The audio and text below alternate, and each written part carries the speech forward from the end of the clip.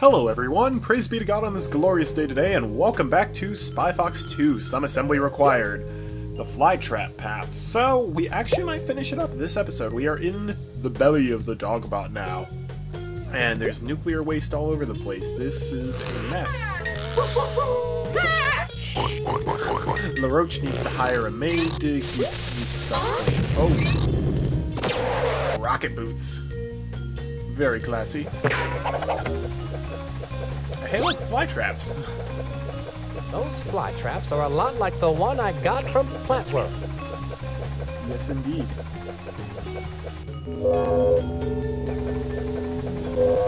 I can't see anything. I need some way to shield my eyes. Yeah, that would probably be good. Don't look directly into the sun. That's what we learned in Pajama Sam 2. Is that Perry the Platypus? It looked kind of like Perry the Platypus.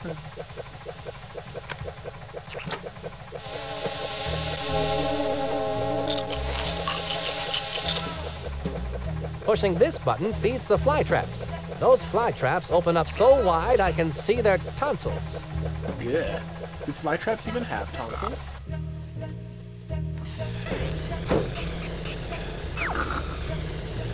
hey man, how's your day going? I'm not going to let him know that I'm here.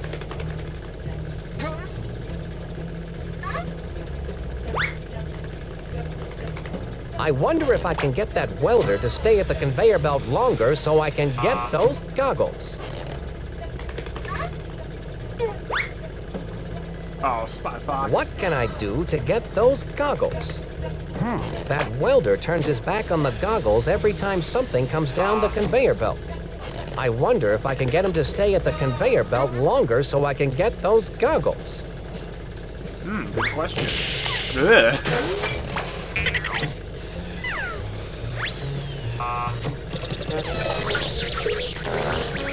Why did they make a deflating balloon sound effect? That was strange. Anyhow. nice somersault, Spy Fox. You're amazing. He's actually pretty stealthy, uh, which is good because he's a spy. Those two eyeballs? Those look like two giant eyeballs. And they're following my mouse cursor around.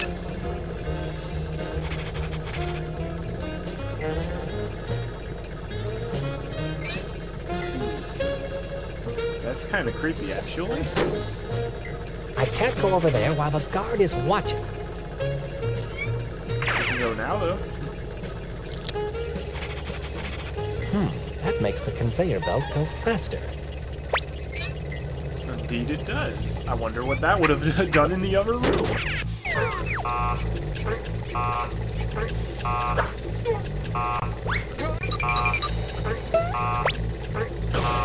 I have the goggles. Booyah! Hopefully he doesn't need those. He's a welder. He probably needs those. Too bad. That's what you get for working for the bad guy. Unfortunately, the goggles ain't gonna protect us from the sunlight. And that's a pretty sly entrance. Or should I say a pretty spy entrance. That must be where the off switch goes for the evil dogbot. When I find a way to get in that room, I'll still need to find the off switch. Yes, indeed.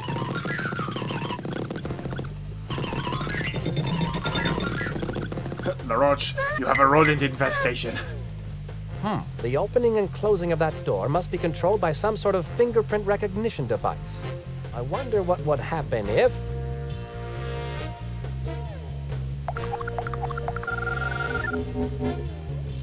A picture of LeRoach. Hmm. Access denied. Hopefully that doesn't set off an alarm or anything. Have a nice day. Bet if I want to get into that room, I'll have to find a way to get a copy of LeRoach's fingerprint. Indeed. So, good for My you. have a spy intellectual gadget just for fox deductive-like reasoning tells me that the opening and closing of that door must be controlled by this fingerprint recognition device. Let me try again. Spy Fox, that's really a bad idea.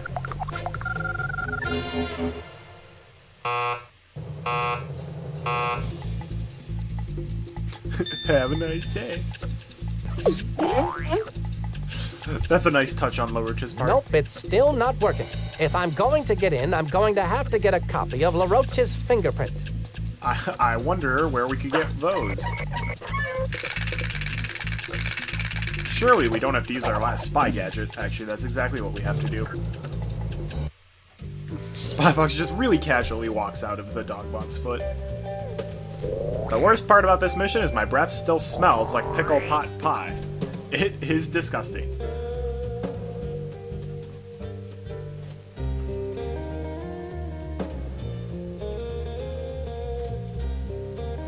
Anyhow, remember the Caped Cod? We haven't seen him in a while. Well, we actually got him a pair of goggles. So ain't that nice? Come on. I believe these are yours, Caped Cod. My lucky goggles! I can't believe my eyes! I love how as soon as he goes to the close-up, he no longer has Ugh, stubble. Everything sure smells a lot different with these on. You mean looks a lot different, don't you? No, smells a lot different. Where'd you find these? Sorry, they've been in my pocket for a while. He instantly no longer has like the stubble now that he has his goggles. The instant he saw them, it got shaved off, which is just magical. He's a cool, I did it. He's like, yeah, I'm the king. That's pretty awesome. Can I borrow your dark goggles, Caped Cod? Heck, son, you can have them. I don't need them anymore. Best not to use them for flying out of a cannon, though. Thanks, that's good to know. Who would have thought that that would be what we would take away from this? So now all the pieces are getting put together, aren't they? Excuse me, Mr. Cod. Don't bother me now. I'm thinking. I'm basking in my glory. Do it again. Do it again. Put the Cape Cod in Mario Kart. He'd be the fastest character in the game. And has the best acceleration. Spy Fox is like, okay, it was kind of cool the first time, but not any different the second time.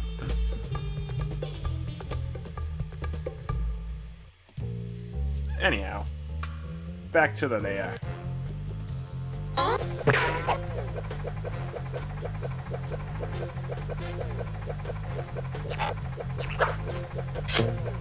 Looking safe and being cool. A spy must always be prepared. Seriously, how do they make goggles that, like, I guess they put, like, sunglass lens on the goggles to make it like that? But The light is seriously. bright, but this spy is brighter. Oh, oh, jeez, that is one traumatized moth. Also, these poor fly traps that are in here, just like, ah, the light, it burns. I've seen these Venus flytraps before. This must be some sort of grow room. I wonder what LeRoach is up to. Oh, where that it's like it's accelerating their growth. Uh, that's also possible.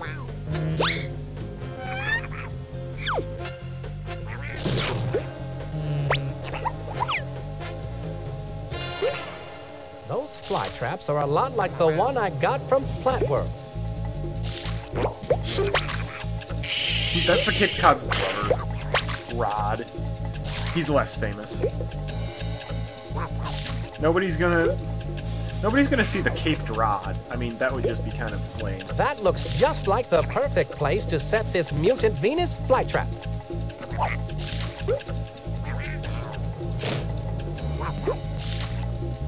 Now, can I have The the? Venus flytrap has the off switch in its mouth. I've never seen so many flies before in my entire spy life. Those fly traps must really open wide when that jar opens to feed them. Okay, seriously. Uh, so the flies are this big. LeRoach is well a cockroach, and yet he's like a lot bigger than that. So inconsistent animal size. That's my number one complaint with this game.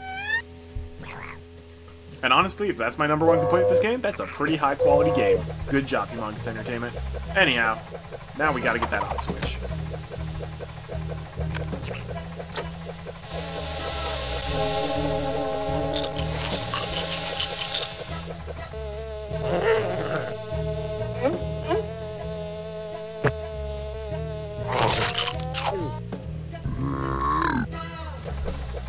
Seems that mutant Venus flytrap prefers to eat flies instead of off switches for giant evil dog dogbots. Yeah, I I would imagine so. Most people would take most people. Well, never. As a human, I would rather put an off switch in my mouth than a fly, probably. I have the off switch. LeRoach's evil scheme is crumbling. Woo!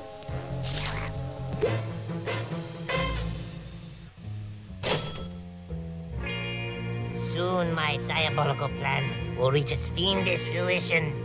I will be unstoppable. For who or what can possibly stand up to the onslaught of a big, giant mechanical dog robot? My sophisticated machine of menace will march across the surface of the earth and claim it in my name. People will shout my name to the skies. Leroy! Leroy! Leroy! And I will say, yes, what is it? All the world leaders will sit up and beg for mercy. It's quite an evil plan, no?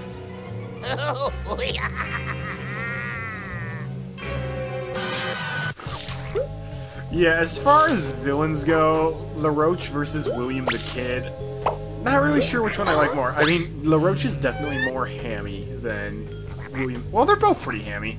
They're both they're both fun villains, and I like both of them more than I like the villain in the third game. But we'll get to that when we get to the third game. Also, holy cow, in the span of like a half hour, we went from having like less than 500 guests in the World's Fair to having like 900,000. This is why you arrive to Disney World at rope drop, so that way the lines are a lot shorter than if you go in the afternoon. Anyhow, now we need to get into the control room, but we kind of need LeRoach to come over and open it for us. So let's just go over and ask politely, and I'm sure LeRoach will let us through. Clearly, that's going to happen. Go right in, Carlton. Oh, gracious me. Oh, my, oh, dear, oh, dear, oh. Excuse me, what's the matter? I don't have a single fork for Mr. LeRoach's dinner, and he gets so surly when he has to wait for his food. Well, you know the old saying surly to bed and surly to rise. Ah, that's LeRoach's dinner?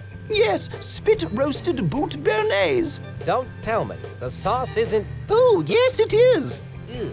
I think I'm going to be sick. Now, where are those forks? Oh man, yeah. Um, when I was a child, I didn't realize that was like an actual boot. I thought that was just a funny name. No, that's an actual boot on a plate, roasted in spit. Yep. Also nice you got like the warming tray with the lights there keeping it warm. How is it that this restaurant La LeRoach is the only diner right now. There, it's literally just him and it's, oh, we don't have forks. What are you going to give the guests? This seems like a major oversight. Major oversight. A fork? My kingdom for a fork! I mean, LeRoach isn't that picky. After all, look at what he eats. Does it matter so much what he eats with? But there isn't a single thing here that would even pass for a fork. So, LeRoach is having spit roasted boot béarnaise for dinner? I hear that is a dish best served cold. Yes, but he won't be served anything until I find a fork. So, that spit roasted. Roasted boot béarnaise is so done you would stick a fork in it. If only I could find one. Without a suitable fork, I can't serve Mr. LeRoach's dinner, and he's bound to be pretty ticked off about it. Alright, enough with the food puns. Let's go and give her the fork. Here you are. It so happens I carry a fork for just this kind of situation. A fork? I've been looking all over for one. I learned in boot camp it pays to have a fork at all times. Thank you. I'm going to get this spit roasted boot béarnaise out to Napoleon the Roach before he starts acting like a heel. It's only a matter of time now before I have LeRoach's prints. Spit roasted boot bernaise, my favorite dish. This boot was made for eating. And that's just what I'll do. Pretty soon that boot is going to be inside of you. There it is. Now I'm almost ready to give LeRoach the boot. And I don't mean for dinner. So many puns. A little tough, but still good. Uh, Uh, even as an adult, that scene cracks me up to no end. the expression on the expressions on her face when she leaves. And the wow. yeah, it's just it's gold. It's gold. So many puns all in one place. It's fantastic. Didn't anyone ever tell you that evil doesn't pay? Actually, it doesn't pay well, but No time to waste. My escape. Anyhow. Now we've got LeRoach's prints, and now we can do this. Let's give this a try, shall we?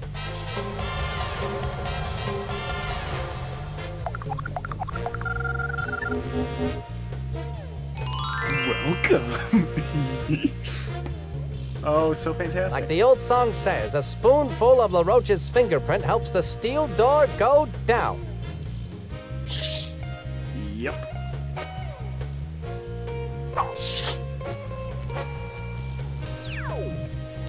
Is the Dogbot's core. This looks like a pretty sweet room. Alright. So now we gotta deactivate the Dogbot. So we got the off switch. Blam. There, that should put LeRoach off a bit. Now all I have to do is set the off switch activation code. Now, if I remember correctly, it was Chow, Cherry Apple Orange. That must be where I need to set the off switch activation code.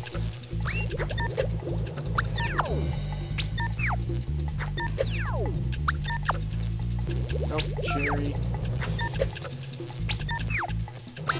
Booyah! I remembered it.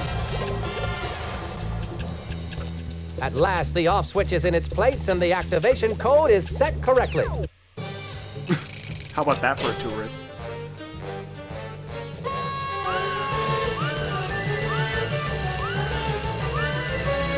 finally, the one millionth customer has come to the turnstile.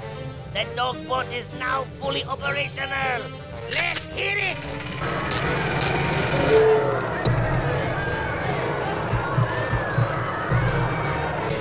I don't think this is a good sign.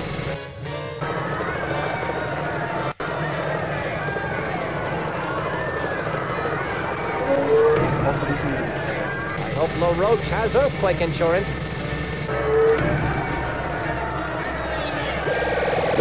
Whoa! It has laser eyes!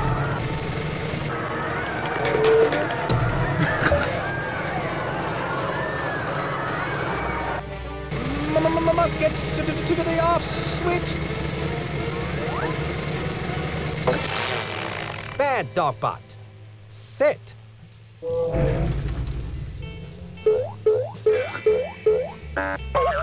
so many good thumbnails. What?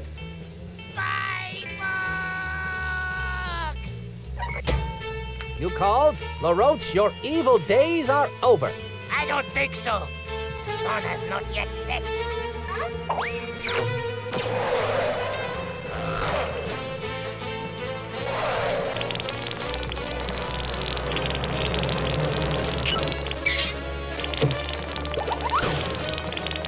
I should go in after it.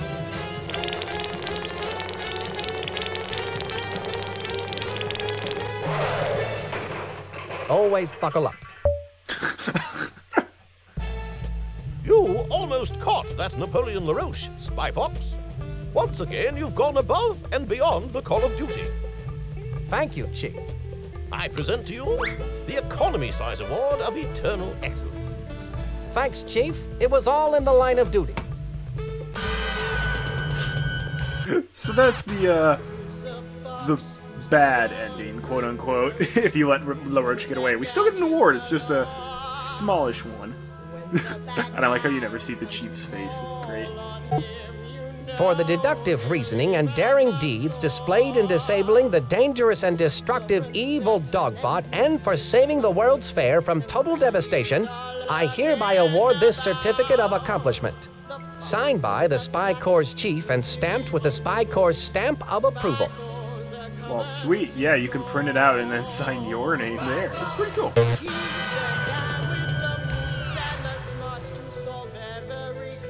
Alright.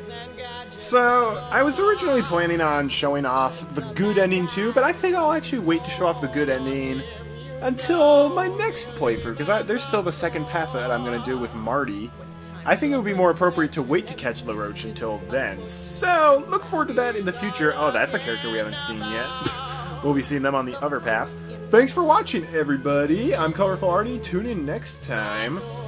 Uh, Marty's going to be joining me, and we're going to start the second path, which is going to be a whole lot of fun. Look forward to that, and until we meet again, my friends, have a great day, and God bless.